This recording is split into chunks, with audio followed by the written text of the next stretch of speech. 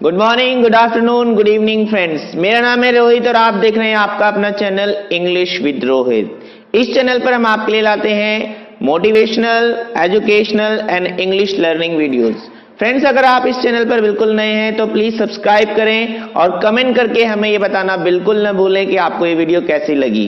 तो आइए शुरुआत करते हैं. स्वागत है आपका आपके इस चैनल में जिसका नाम है इंग्लिश विद रोहित आज का हमारा टॉपिक है passive voice friends passive voice शुरू करने से पहले मैं चाहता हूँ कि आप इस व्हाइट बोर्ड का एक बार पॉज करके स्क्रीनशॉट ले लें, ताकि आपको इसके पॉइंट्स याद रखने में दिक्कत ना हो। तो मैं एक मिनट देता हूँ, आपको कुछ सेकंड देता हूँ। आप इसका पॉज करके एक स्क्रीनशॉट ले लें।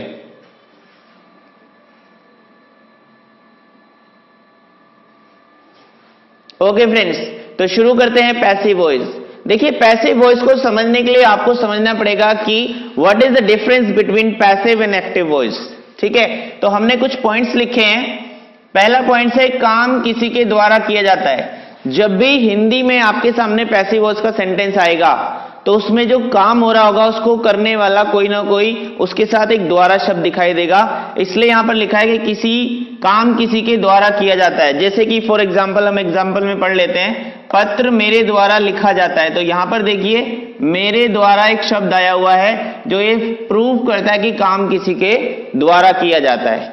आइए देखते हैं दूसरा पॉइंट पैसिव वॉइस में मेन वर्ब के बाद जाना शब्द लगा होता है 90 परसेंट इस पॉइंट का मतलब है कि जब भी आप हिंदी में पैसिव वॉइस का सेंटेंस देखेंगे तो उसमें जो आपकी मेन वर्ब होगी, यहाँ पर जैसे कि देखिए आप मेन वर्ब है लिखना।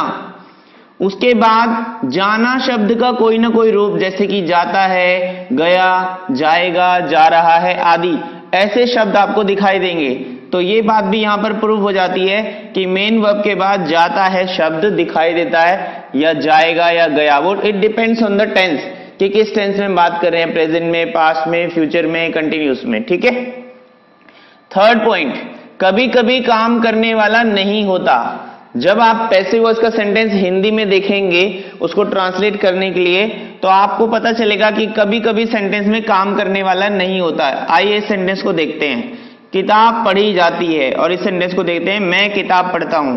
मैं किताब पढ़ता हूँ, इसमें काम मैं कर रहा हूँ, ये हमारा एक्टिव वॉइस है। लेकिन अगर हम इसका पैसिव वॉइस देखते हैं तो पैसिव वॉइस ऐसा भी हो सकता है कि किताब पढ़ी जाती है। अब देखिए, पढ़ने का काम हो रहा है, वर्क के बाद जाना भी आ रहा है, किताब भी है, लेकिन पढ़ने वाले का आता पता नहीं है। यानी कि सेंटेंस में काम करने वाला नहीं दिखाई दे रहा।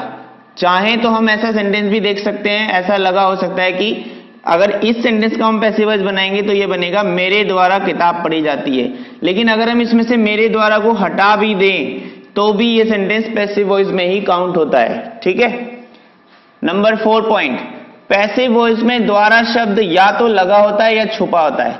ये बात हम ऑलरेडी कर चुके हैं। देखिए, इस सेंटेंस में पैसिव वॉइस में मेरे द्वारा, यानी कि द्वारा शब्द लगा हुआ है, और इस सेंटेंस में किताब पढ़ी जाती है, द्वारा शब्द छुपा हुआ है। तो जो आपके सामने पैसिव वॉइस के सेंटेंस हिंदी में आएँगे तो आप ध्यान रखना उसमें कि द्वारा शब्द लगा भी हो सकता है और छुपा भी हो सकता है, यानी कि काम करने वाला छुपा हो सकता है।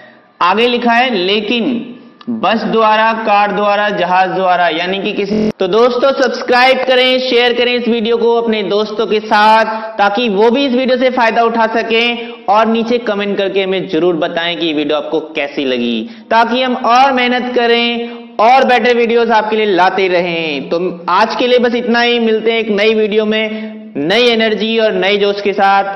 Thanks for watching bye